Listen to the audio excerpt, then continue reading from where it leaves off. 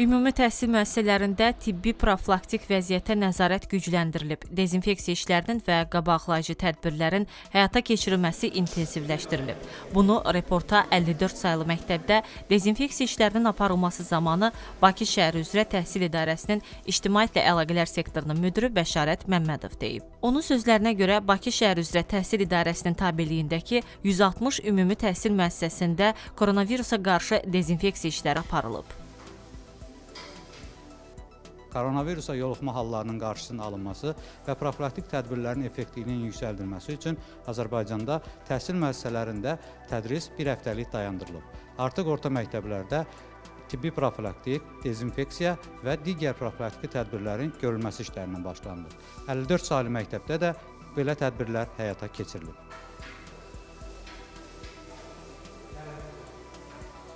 Təhsil müəssisələrində sanitar profilaktik vəziyyətə nəzarət gücləndirilib və ümumilikdə dezinfeksiya işlərinin və qabaqlayıcı tədbirlərin həyata keçirilməsi intensivləşdirilib. Bu günə qədər paytaxt üzrə ümumilikdə 160-dan çox e, ümumi təhsil məktəbində müvafiq dezinfeksiya işləri həyata keçirilib.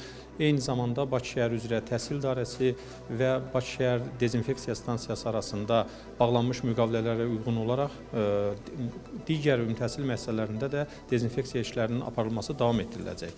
Bir məsələni qeyd edək ki, məlum olduğu kimi Azərbaycan Respublikası Nazirlər Kabineti yanında ə, e, operativ qərargahın məlumatına əsasən 3-9 e, mart tarixlərində bildiyimiz kimi təhsil müəssisələrində tədris prosesi dayandırılıb və bu günlər ərzində də təhsil müəssisələrində dezinfeksiya işlərinin və qabaqlayıcı tədbirlərin aparılması daha da intensivləşdiriləcək və başa çatdırılması nəzərdə tutulur.